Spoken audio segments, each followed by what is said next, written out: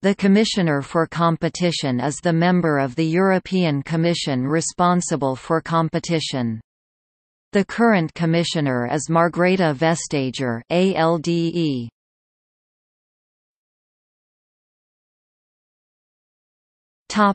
Responsibilities The portfolio has responsibility for such matters as commercial competition, company mergers, cartels, state aid, and antitrust law.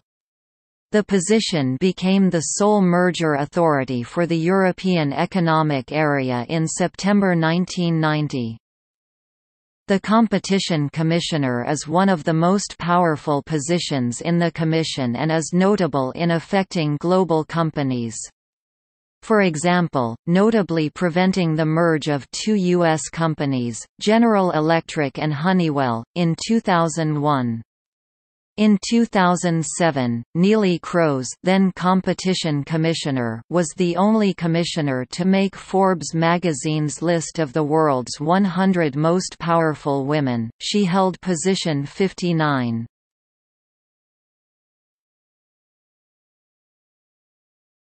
Topic: Past commissioners.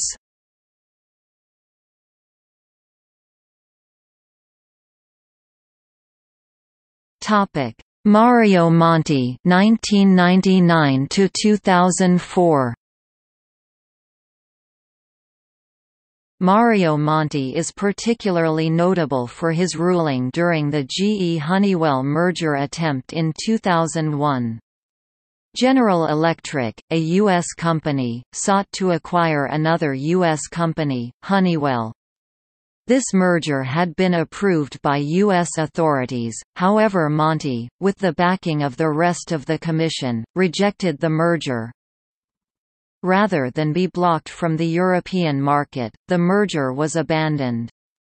This was the first time that a merger between two U.S. companies had been blocked solely by European authorities, only the second time it had blocked just two U.S. companies and only the 15th merger it had blocked ever since it started work.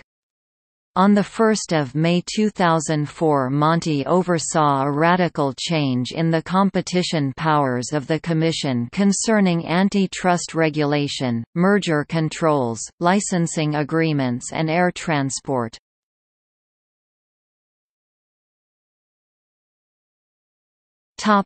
Neelie Kroes 2004 to 2010 During Neelie Kroes' hearing at the European Parliament, MEPs expressed concern about whether Ms. Kroes had a sufficiently detailed grasp of certain specific subjects, but was approved as part of the Commission in 2004. Since then she states that she promotes a fair and free business environment, achieving sustainable economic growth and higher employment. The Commission has been involved in a number of high-profile cases fighting anti-competitive behavior, such as the case against the merger of Sony, BMG, against Apple Inc. regarding iTunes and the ongoing case against Microsoft. The latter has been an ongoing dispute on a number of issues. In April 2007, Microsoft became the first company to refuse to comply with the Commission's rulings. In response, Commissioner Kroes is looking at more harsher methods to gain the cooperation of companies. We have never, ever before encountered a company that has refused to comply with Commission decisions.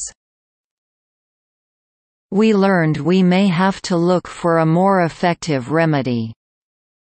In September 2007, the Court of First Instance EU's second highest court upheld the Commission's decision to fine Microsoft €497 million Euro and its order for to Microsoft for it to share its information setting what the Commission described as an «important precedent». Kroes stated that Today's court ruling, shows that the Commission was right to take its decision, and right to take firm action to enforce that decision. Either party may appeal to the European Court of Justice. In response to the ruling the U.S. Justice Department's top antitrust official, Thomas Barnett, criticized the ruling which sparked a response from Kroes stating that, "...it is totally unacceptable that a representative of the U.S. administration criticizes an independent court of law outside its jurisdiction. It is absolutely not on." The European Commission does not pass judgment on rulings by U.S. courts and we expect the same degree of respect from U.S. authorities for rulings by EU courts. Kroes holds a strong belief in free market principles and was tough with offenders. By the time her term as Competition Commissioner ended, she had completed most major cases.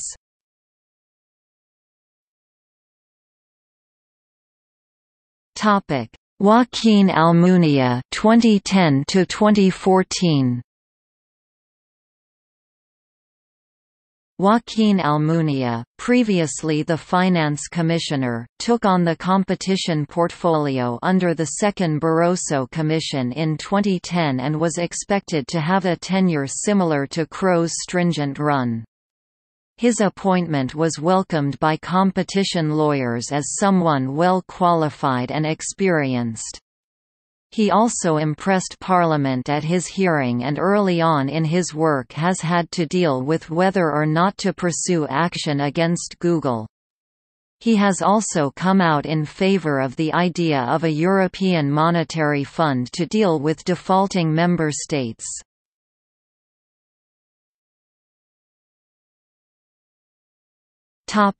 List of commissioners.